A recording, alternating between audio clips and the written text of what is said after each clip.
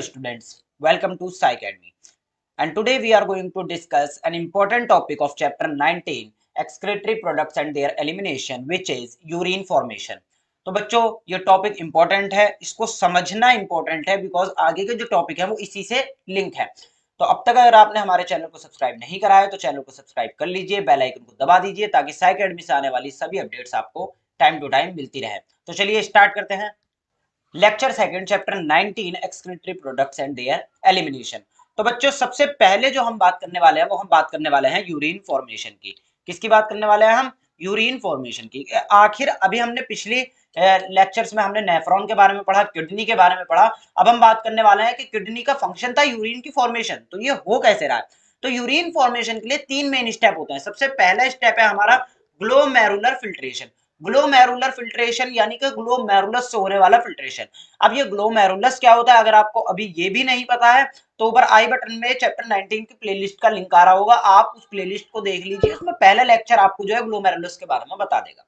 ठीक है बच्चों? तो अगला होता है इसमें ट्यूबुलर रीएब्जॉर्प्शन ट्यूबुलर रीएब्जॉर्प्शन नाम से ही पता लग रहा है। ट्यूबुलर वर्ड किसके लिए? ट्यूब के लिए। तो ट्यूब्स में होने वाला रीएब्जॉर्प्शन और ट्यूब्स में हमने तीन तरीके की पिछले लेक्चर में देखी थी। एक देखी थी पीसीटी एक देखी थी हैंडलेज लूप हैंडलेज लूप में हमने जो है दो देखी थी। एक देखी थी ascending limb of loop of Henle एक देखी थी descending limb of loop of Henle और तीसरी देखी थी हमने डीसीटी यानी कि डिजिटल कॉन्वोलेटेड ट्यूब इसके बाद हमने एक चौथी भी देखी थी वैसे तो विच इज़ कलेक्टिंग डक्ट अब कलेक्टिंग डक्ट में भी कुछ सिक्रीशन होता है, कुछ एब्जॉर्प्शन होता है और बाकी एक्सक्रीशन होता है, वो हम आगे देखेंगे। इसके बाद जो तीसरा स्टेप होता है यूरिन फॉर्मेशन का, वो होता है सिक्रीशन तो ये तीन मेन स्टेप होता है यूरिन फॉर्मेशन के लिए। सबसे पहले ग्रोमेलुलर फिल्ट्रेशन ट्यूबुलर रीएब्जॉर्प्शन और उसके बाद सिक्रीशन तो सबसे पहले हम बात कर लेते हैं ग्लोमेरुलर फिल्ट्रेशन की। तो ग्लोमेरुलर फिल्ट्रेशन जैसा कि आपको पिछले लेक्चर से पता ही है कि ग्लोमेरुलस कुछ इस प्रकार की स्ट्रक्चर होती है ब्लड कैपिलरीज कॉइल्ड होती है और ऐसे निकल जाती है। ये ग्लोमेरुलस होता है। अब जहाँ से ये जो है हमारी स्ट्रक्चर आ रही है, ये वाला पार्ट तो ये तो था हमारा एफेरेंट आर्ट्रियोल और वहीं जहाँ से ब्लड जा रहा था, ये था हमारा इफेरेंट आर्ट्रियोल तो ब्लड आ रहा था एफेरेंट आर्ट्रियोल से, जा रहा था इफेरेंट आर्ट्रियोल से। और यही एक नीचे कप शेप की स्ट्रक्चर थी which is what Bowman capsule ठीक है बच्चों? तो glomerular filtration begins when blood enter the glomerulus through the efferent arteriole जैसे कि मैंने बताया एफेरेंट आर्ट्रियोल से ब्लड आएगा। वाटर और नाइट्रोजिनस वेस्ट जो है, ये ग्लोमेरुलस से ब्लड सेल से मूव हो जाएँगी। और प्रोटीन जो है, जितना भी प्रोटीन है, वो सारा इफरेंट आर्ट्रियोल से निकल जाएगा। तो होता क्या है कि वाटर और जितनी नाइट्रोजिनस वेस्ट है जो हमें एक्सक्रीट करनी है, वो तो ग्लोमेरुलस से कहा जाएगी? बोमन कैप्सूल में। और बाकी जो हमारे प्रोटीन है ब्लड में, वो सारा हमारा क्या हो जाएगा? इफरेंट आर्ट्रियोल से एग्जिट हो जाएगा। अब हमारी किडनी पर मिनट 1100 से 1200 ml ब्लड को फ़िल्टर करती है। 1100 से 1200 ml ब्लड को हमारी किडनी पर मिनट फ़िल्टर करती है। आगे देखते हैं तो ग्लोमेरुलर कैपिलरी क्या है? ग्लोमेरुलर कैपिलरी का जो ब्लड प्रेशर होता है, वो फिल्ट्रेट को अफेक्ट करता है और तीन लेयर से उसको फ़िल्टर करता है। कितने लेयर से उसको फ़िल्टर करता है? तीन लेयर से। तो ऐसे कुछ हमने स्ट्रक्चर बताया अभी ग्लोमेरुलस की, कि ये तो हमारी हो गई एफरेंट आर्टरी हो गई इफरेंट आर्टरियोल और नीचे एक कप शेप की स्ट्रक्चर हो गई। ठीक है बच्चों? तो ग्लोमेरुलस की जो हमारी कैपिलरीज है ये सराउंडेड होती हैं विद द एंडोथीलियम ये एंडोथीलियम से सराउंडेड होती है। वही बोमन कैप्सूल की जो ये लेयर है, ये सराउंडेड होती है एपीथीलियम से। ये कैसे सराउंडेड होगी? एपीथीलियम से। तो बच्चों, जैसा हमने देखा था चैप्टर 17 में भी हमने देखा है कि चैप्टर 17 में क्या होता है? चैप्टर 17 में एल्वियोलर कैपिलरी और एल्वियोलर कैविटी के बीच में एक मेम्ब्रेन होती है। फिर हमने चैप्टर 18 में भी कुछ ऐसा देखा हार्ट के केस में, कि वहाँ पर पेरिकार्डियम के बीच में एक फ्लूड होता है। तो ऐसे ही यहाँ पर क्या होता है कि ग्लोमेरुलर की जो सेल्स है एंडोथीलियम और बोमन कैप्सूल के जो सेल है एपिथीलियम इनके बीच में एक मेम्ब्रेन होती है बेसमेंट मेम्ब्रेन कौन सी मेम्ब्रेन बेसमेंट मेम्ब्रेन अगर आपने चैप्टर 17 नहीं पढ़ा, ऊपर आई बटन में उसका लिंक आ रहा होगा, आप चैप्टर 17 भी पढ़ सकते हैं। तो चलिए, आगे हम देखते हैं। एपिथीलियल सेल अब अब बात आती है कि भाई जो हमारे एपिथेलियल सेल थे ये बोमन कैप्सूल के, जो एपिथेलियल सेल थे हमारे बोमन कैप्सूल के तो बोमन कैप्सूल के एपिथेलियम सेल्स को हम कहते हैं क्या? पोडोसाइट्स क्या कहते हैं?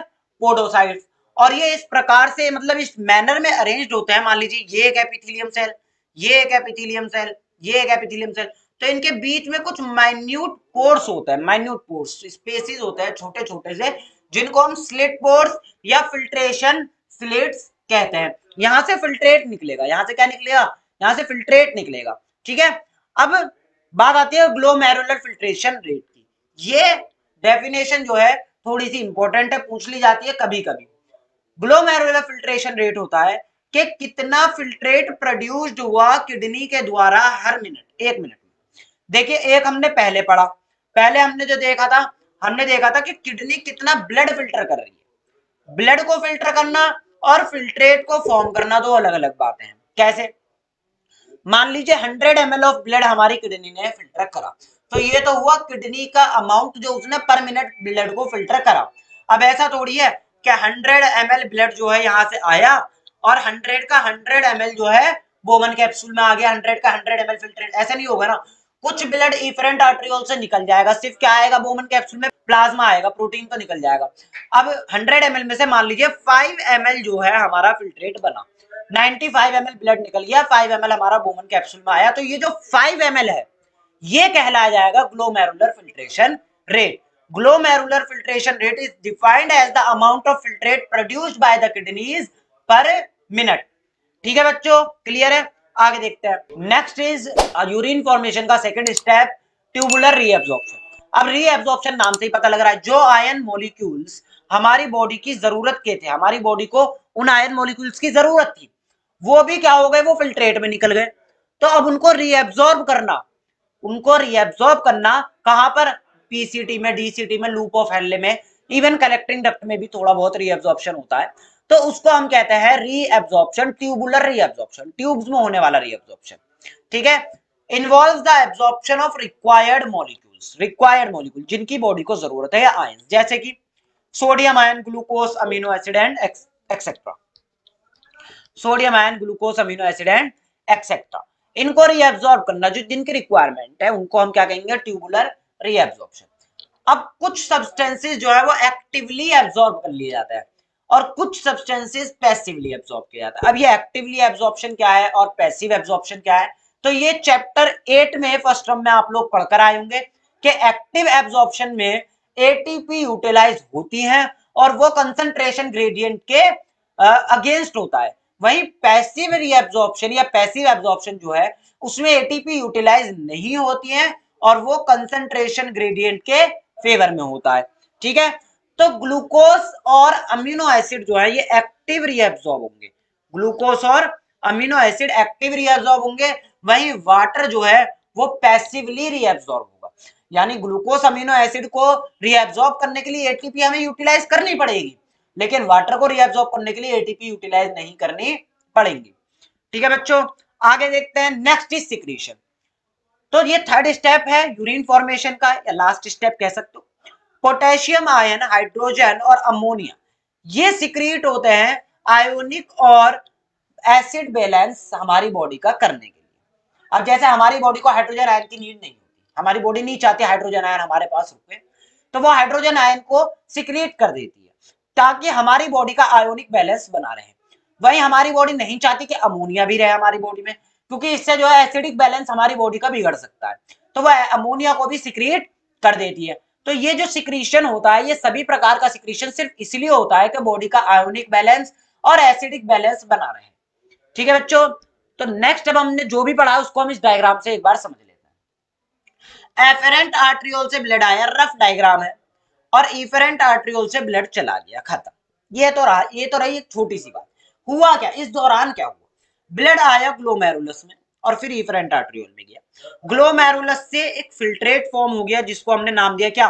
ग्लोमेरुलर फिल्ट्रेशन ग्लोमेरुलर फिल्ट्रेशन फिर पीसीटी में गया proximal convoluted tubule Henle loop में गया डीसीटी में गया कलेक्टिंग डक्ट में गया। इस दौरान क्या हुआ? इस दौरान ट्यूबुलर रीअब्जॉर्प्शन हुआ। क्या हुआ? ट्यूबुलर रीअब्जॉर्प्शन हुआ। ट्यूब्स में जो भी आयंस मॉलिक्यूल्स जो बॉडी की रिक्वायरमेंट थी, वो रीअब्जॉर्ब कर लिए। उसके बाद ये कहा गया, ये कलेक्टिंग डक्ट में गया। कलेक्टिंग डक्ट से क्या हो गया? ट्यूबुलर सिक्रीशन हुआ। जिन चीज़ों को सिक्रेट करना था, वो सिक्रेट कर दिया गया जैसे हमने अभी देखा potassium ion hydrogen ion sodium ion को सिक्रीट कर दिया। अब जो बचा, वो बचा एक यूरिन कंसंट्रेटेड यूरिन बचा, उसको हमने जो है एक्सक्रीट कर दिया। ठीक है बच्चों? तो ये जो हमारा टॉपिक था, ये था यूरिन फॉर्मेशन का। आई होप आप लोगों को ये समझ आया होगा। इसमें अगर आपको कोई भी डाउट हो तो आप हमसे नीचे कमेंट सेशन में पूछ सकते हैं। बाकी फ़र्स्ट साइड पे जो मेल आईडी और व्हाट्सएप नंबर था, उस पर भी हमको मेल और व्हाट्सएप कर सकते हैं। Just write hi Sai academy और हम आपको 24 आवर्स के अंडर में हम आपको रिप्लाई कर देंगे। और अब तक अगर आपने हमारे चैनल को सब्सक्राइब नहीं कराया तो चैनल को सब्सक्राइब कर लीजिए बेल आइकन को दबा दीजिए, ताकि आपको साई अकेडमी से आने वाली सभी अपडेट्स लगातार मिलती रहे। ठीक है बच्चों, जब तक के लिए गुड बाय